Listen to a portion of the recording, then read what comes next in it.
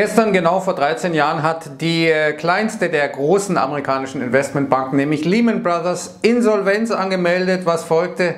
Kennen Sie die Finanzkrise entfaltete sich eine Kettenreaktion, weil niemand mehr wusste, wo welche Risiken versteckt sind. Man hatte ja geglaubt, dass die Risiken geringer werden, wenn sie auf vielen Schultern verteilt sind. Das war genau falsche der falsche Ansatz, denn äh, wenn ich nicht weiß, wo welche Risiken sind, dann mache ich erstmal die Schotten dicht. Genau das ist passiert. Die Banken haben nicht mehr einander vertraut, sodass die Liquidität austrocknete und dann kamen die Notenbanken und haben die Liquidität ins System System äh, gepumpt. Im Grunde hat sich daran ja noch nichts geändert. Seit der ähm, Finanzkrise sind wir in einem permanenten Krisenmodus. Die Notenbanken ermöglichen das Weiterdrehen des Rades bis zur Unendlichkeit. Und jetzt ist möglicherweise ein anderes Phänomen da, nämlich eine Art chinesische Lehman Brothers, nämlich Evergrande, der größte Immobilienentwickler in China, an dem sehr, sehr viel hängt, der Schulden von gut 300 Milliarden Dollar hat und der offenkundig jetzt so pleite ist, dass er nicht mal mehr Zinsen bezahlen kann von Anleihen, die er emittiert hat. Das ist jetzt das große Ding. Das ist die Frage auch, ob Evergrande nur die Spitze des Eisbergs ist, äh, eines äh, Unternehmenssektors in China, wo die staatlichen Unternehmen ja massiv verschuldet sind. China hat ja eine deutlich höhere Staatsverschuldung als Griechenland. Warum? Weil eben die Staatsunternehmen massiv verschuldet sind. Evergrande ist ein Privatunternehmen. Aber wenn schon Privatunternehmen solche Schwierigkeiten haben, wie sieht es dann aus? Erst im äh, Finanz, im staatlichen Sektor. Diese Frage muss man stellen. Ja, ist das nur die Spitze des Eisberges ist das etwas, worum die Märkte sich Sorgen machen müssen. Wir sehen zumindest in China gehen die Kurse weiter nach unten. Der Hang senkt 2% im Minus. Also da tut sich wieder was. Alibaba unter Druck, die Casino-Betreiber unter Druck, weil Peking ja weiter hier richtig Gas gibt. Aber wird man jetzt Evergrande retten? Das ist ja die Frage, die sich damals auch gestellt hat bei Lehman Brothers. Da wollten die, die amerikanische Regierung offenkundig ein Exempel statuieren, weil man sich gesagt hat, naja, wir können nicht alle retten, also hat man praktisch die kleinste der Investmentbanken pleite gehen lassen, hat aber dann AIG, diesen gigantischen Versicherungskonzern, gerettet. Sonst wäre wahrscheinlich das Finanzsystem wirklich über den Jordan gegangen. Wie wird China sich verhalten, Peking sich verhalten?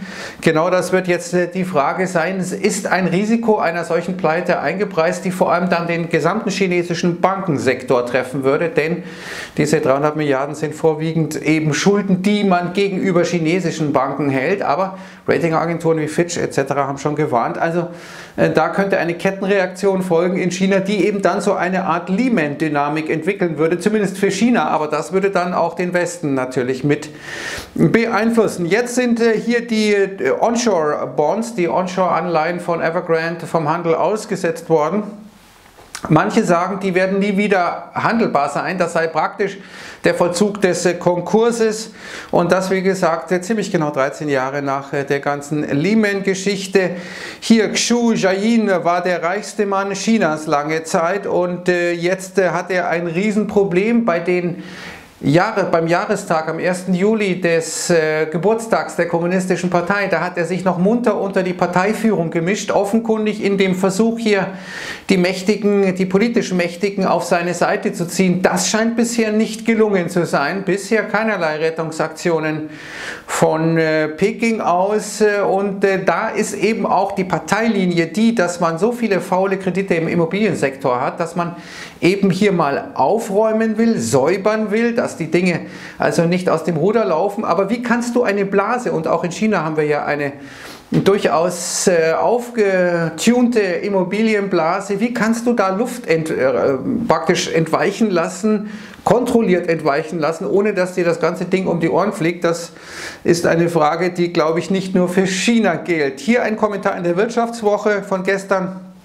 der sagt also nein, das ist äh, nicht ein Lehman-Moment, diese Krise wird sich äh, nicht wiederholen, weil man sagt, naja, das wird Peking wird das schon rausretten. Mal schauen, was da passiert. Jedenfalls sehen wir, dass es durchaus Konsequenzen hat an den Märkten, aber den Gesamtmarkt bisher noch nicht wirklich beeinflusst. Aber den Gesamtmarkt beeinflusst inzwischen schon das, was ich gestern äh, bezeichnet habe als Energiekrise im gestrigen Marktgeflüster. Goldman hat jetzt äh, gesagt, also liebe Hedgefonds, wenn ihr profitieren wollt von dieser ganzen Krise, dann geht mal äh, long in Gaskontrakten, die Optionen, die außerhalb des Geldes sind, also wo der Preis noch deutlich weiter steigen muss, damit die ins Geld kommen. Man will also von dieser Krise profitieren. Die Gaspreise, wie gesagt, nicht nur die Gaspreise massiv gestiegen und möglicherweise all das eine Folge äh, dieser ganzen ESG-Politik, also ESG, Nachhaltigkeit etc. etc. Wenn man also letztendlich eine nachhaltige Energie fördern will, was ja richtig ist, dann hat das aber eben auch inflationäre Konsequenzen. Und gestern, ich kann das anders leider nicht darstellen, hat auf YouTube äh, jemand äh, geantwortet auf mein Video, der absolut in der Materie ist. Der ist Carbon Trader, also der handelt Kontakte von Carbon und sagt also, diese Entwicklung ist praktisch erst am Anfang. Er sieht nicht, wie sich das ändern soll. Ähm, da ist eines der Probleme offenkundig, dass die Russen Schwierigkeiten haben, überhaupt ihre, ihr eigenes Land mit Gas zu versorgen.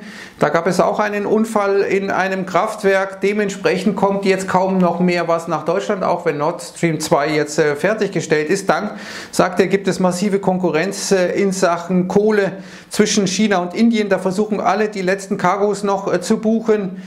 Und ähm, China hat verboten, jetzt äh, Preisindizes äh, zu erstellen und zu veröffentlichen und hat schon Leute verhaftet. Also die Leute sollen nicht sehen, dass die Preise hier explodieren, damit sie nicht beunruhigt sind. Und auf der anderen Seite eben diese Nachhaltigkeitsgeschichte sorgt dafür, dass die Gaspreise weiter steigen aufgrund der Regulierungen. Dadurch wird Kohle wieder attraktiver weil eben der Gaspreis so massiv steigt, Kohle dann äh, in Relation zu Gas billiger ist. Kohle wiederum aber hat eine viel schlechtere CO2-Bilanz, nämlich zwei bis viermal so viel äh, CO2-Ausstoß als eben Gas. Und so ist das ein Teufelskreislauf, wo man eigentlich eine gute Absicht hat, nämlich nachhaltige, nachhaltige Energie irgendwie nach vorne zu pushen, dann aber faktisch dazu führt, dass mehr Kohle äh, startet. Wir haben jetzt im ersten Halbjahr diesen Jahres ja Kohle als wichtigsten Energieträger wieder gehabt. Äh, das ist äh, die Absurdität des guten Willens. Und äh, da sehen wir eben jetzt weiter steigende Energiepreise, sagt er voraus.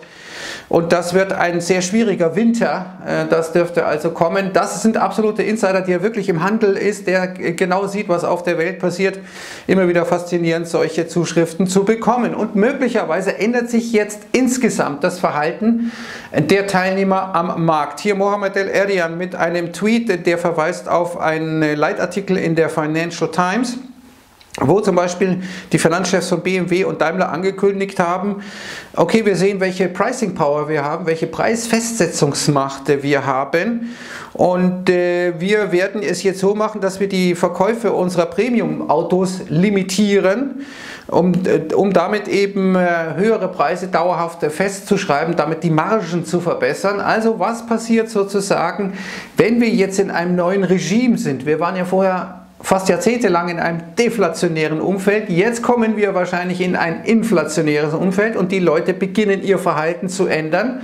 Zumal, wenn alle erwarten, dass das Umfeld inflationär ist, eben auch das eine Art Self-Fulfilling Prophecy ist, die dann die Inflation ähm, praktisch noch anfeuert. Gestern die Märkte dann noch schön ins Plus gedreht. Die US-Märkte nämlich wieder mal den, äh, den 50-Tages-Durchschnitt getestet, der S&P 500 und dann wie durch ein Wunder nach oben gelaufen. Alle Indizes, da gab es dann plötzlich aus dem Nichts eben diese Wende, nachdem die Märkte zunächst schwach waren. Wir sehen vor allem Energie war gestern der große Gewinner, 3,8 Prozent, bis auf Utilities alle Branchen im Plus. Aber wir sehen eine klare Divergenz zwischen dem S&P 500, der gestern und anderen Indizes in den USA, der gestern nach oben gegangen ist, und etwa dem DAX und dem Bloomberg Europe 500, also die europäischen Indizes sind nach unten gegangen. Warum? Große Frage wegen dieser Energiegeschichte. Man weiß es nicht. Jedenfalls sehen wir hier nochmal den S&P 500, der zielgenau seine Aufwärtstrendlinie hat verteidigen können aus dem März 2020 oder seit dem März 2020, also seit dem Tiefpunkt der Corona-Krise. Jetzt sehen wir aber, dass die Privatinvestoren, die diese Rallye seit dem Tiefpunkt März 2020 immer wieder befeuert haben, deutlich weniger aktiv sind. Warum sind sie das? Weil das Helikoptergeld nicht mehr fließt, weil die Arbeitslosenunterstützungen nicht mehr so fließen, Unemployment Benefits. Wir sehen daher das Call-Volumen rückläufig, damit entfällt ein wichtige, eine wichtige Stütze für die Aktienmärkte. Es gibt stabilisierende Faktoren wie etwa die Buybacks der Unternehmen, aber hier die Privattrader, die sind jedenfalls jetzt weniger aktiv, das sieht man oben in dieser Grafik, wo in diesen Rücksetzer nicht so viel reingekauft wurde, wie es sonst der Fall war. Heute im Fokus, meine Damen und Herren, die US-Einzelhandelsumsätze, die also wichtig sind für die US-Wirtschaft. Prognose minus 0,8 Prozent, schon der Vormonat schwach. Wir sehen also, jetzt kaum ist der Stimulus vorbei, dann ist auch der Konsum nicht mehr so dolle. Otavio Cortes, äh, die linke Demokratin, fordert ja schon gleich den nächsten Stimulus und möglicherweise wird das dann irgendwann auch kommen, weil die Wirtschaft in den USA gar nicht mehr anders kann. Kommen wir nochmal zu anderen Themenbereichen, etwa Krypto. Ray Dalio hat jetzt äh, gewarnt, dass die Regulatoren Bitcoin killen werden, bevor es so erfolgreich wird, ähm, weil man eben dann wahrscheinlich die ähm, Transformation von Bitcoin in Fiat-Geld verhindern wird. Das wiederum dürfte dann der Knockout sein, vor allem für institutionelle Investoren. Das sagt auch Cathy Wood mit ihrer Prognose, die sie am Montag gegeben hat, dass Bitcoin auf 500.000 Dollar steigt. Das hält er für absoluten Nonsens. Mal schauen, wer recht bekommt. In dieser Welt ist alles möglich. Zum Beispiel auch, dass die de facto bankrotte AMC jetzt auch ähm, Ethereum äh, akzeptiert, also Ether. Und den Bitcoin Cash als Zahlungsmittel. Bitcoin hat man ja schon länger akzeptiert, äh, vorbörslich dennoch AMC nicht im Plus. Also wir sehen, das geht immer weiter. Und ich hatte gestern ja auch mal wieder etwas zu Isabel Schnabel gesagt, die sich absolut zu meiner Lieblings-EZBlerin entwickelt, muss ich sagen. Gabor Steingart hatte diesen sehr treffenden Punkt, äh, sehr treffenden Artikel geschrieben, wo er acht Punkte aufgezeigt hat, äh, die gegen diese These von äh, Schnabel sprechen, dass die Inflation dann wie ein Wunder praktisch zurückgeht. Jetzt kommt natürlich Marcello Fraccerino, der ja schon äh, so dringend in die EZB will, dass seine Schleimspur ja praktisch schon für den Verkehr gefährlich wird. Wir sehen hier, sagte ja, also hier die äh, Inflation, das wurde ja schon vor zehn Jahren immer wieder gewarnt und immer waren die Kritiker falsch gelegen. Isabel Schnabel macht kluge und ausgewogene Argumente.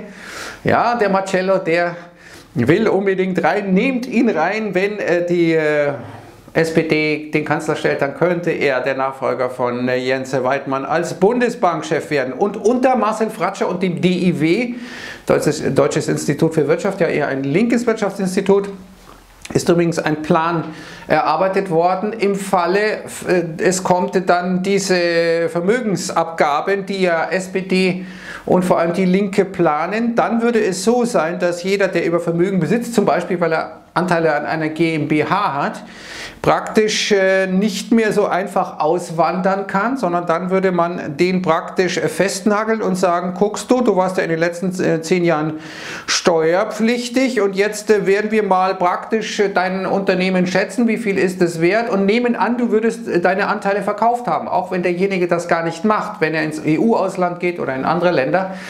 Das würde bedeuten, dass er dann so heftig besteuert wird, dass er sich sehr genau überlegen wird, ob er nicht lieber dann diese Vermögensabgabe in Deutschland bezahlt, die dann kommen würde, wenn äh, linke Parteien hier an die Macht kommen nach der Bundestagswahl. Also das hat schon so leicht einen Charakter von DDR, gell? Also äh, die bauen zwar keine Mauer, aber das ist mehr so eine geistige Mauer.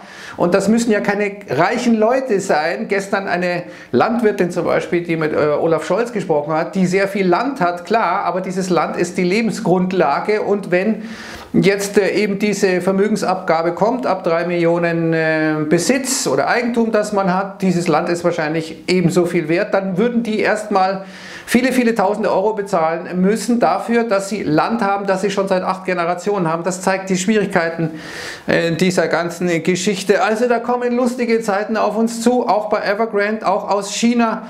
Der Lehman-Moment, schauen wir mal, was passiert. Heute die Einzelhandelsumsätze im Fokus 14.30 morgen dann der große Verfall, der wahrscheinlich nochmal für ziemliche Aufregung sorgen wird. Äh, also, da bin ich mal gespannt. Jetzt wünsche ich das Allerbeste und sage Servus und Ciao. 14.30 reinschauen, spätestens bei Finanzmarktwelt.